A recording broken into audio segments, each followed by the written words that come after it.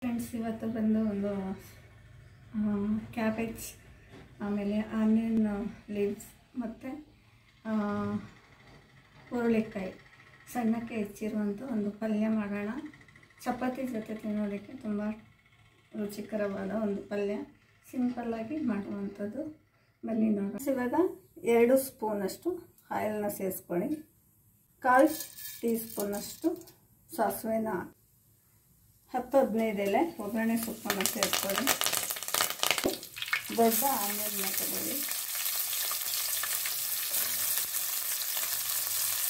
ಆಮೇಲೆ ಫ್ರೈ ಆಗಿದೆ. ನಾವು ಹೆಚ್ಚಿರುವಂಥ ಅರ್ಧ ಕ್ಯಾಬೇಜ್, ಅರ್ಧ ನೀರುಳ್ಳಿ ಹೂವು, ಅರ್ಧ ಕಾಲು ಕೆ ಜಿಯಷ್ಟು ಬೀನ್ಸ್, ಬೀನ್ಸನ್ನು ಸೇರಿಸ್ಕೊಳ್ಳಿ.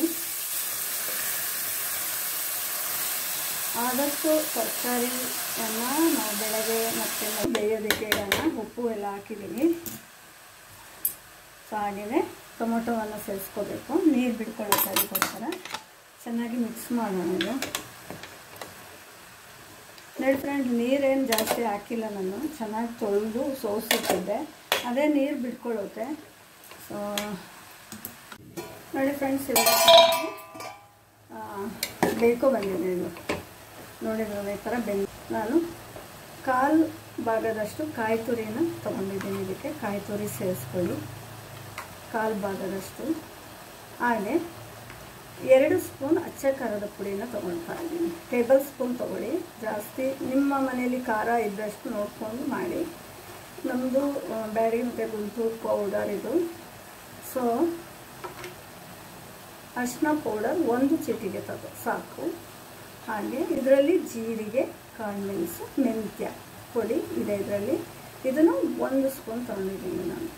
ಅಂದರೆ ತುಂಬ ಬೇರೆ ಟೇಸ್ಟ್ ಕೊಡುತ್ತೆ ಫ್ರೆಂಡ್ಸ್ ಒಮ್ಮೆ ಟ್ರೈ ಮಾಡಿ ನೀವು ಒಮ್ಮೆ.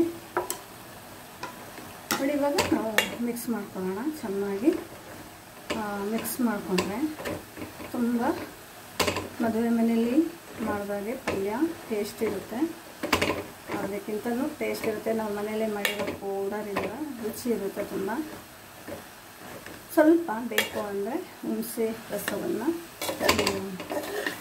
ತೊಗೋಬೋದು ಇದಕ್ಕೆ. ಹುಳಿ ಬೇಕು ಅಂದವರು, ಬೇಡ ಅಂದವರು ಹಾಗೆ ತಿನ್ಬೋದು. ಚಪಾತಿ ಜೊತೆ ಸೂಪರಾದ ಕಾಂಬಿನೇಷನ್ ಇವಾಗ ನಾನು ಅರ್ಧ ಕಪ್ಪಷ್ಟು ನೀರನ್ನ ಬೆಂದಿದೆ ಅಲ್ಲ, ಆಮೇಲೆ ಮಸಾಲೆ ಚೂರು ಬೇಯಬೇಕಲ್ಲ, ಅದಕ್ಕೋಸ್ಕರ ನಾನು ಅರ್ಧ ಕಪ್ಪು ನೀರನ್ನ ಸೇರಿಸಿ ಚೆನ್ನಾಗಿ ಒಂದ್ಸಲ ಕುದ್, ಫ್ರೈ ಮಾಡ್ಕೊಳ್ತೀನಿ. ಪಲ್ಯ ಚೆನ್ನಾಗಿ ಬಾಯ್ಲ್ ಆಗೋ ತನಕ ಐದು ನಿಮಿಷ. ಫ್ರೆಂಡ್ಸ್ ಈಗ ಪಲ್ಯ ರೆಡಿಯಾಗಿದೆ ಸ್ವಲ್ಪ ಹುಳಿ ನೀರನ್ನ ಬೇಕು ಅನ್ನೋರು ಹಾಕೋಬೋದು. ನಾನು ನಾಷ್ಟ, ಚಪಾತಿ ಮತ್ತು ಪಲ್ಯ ರೆಡಿಯಾಗಿದೆ ಫ್ರೆಂಡ್ಸ್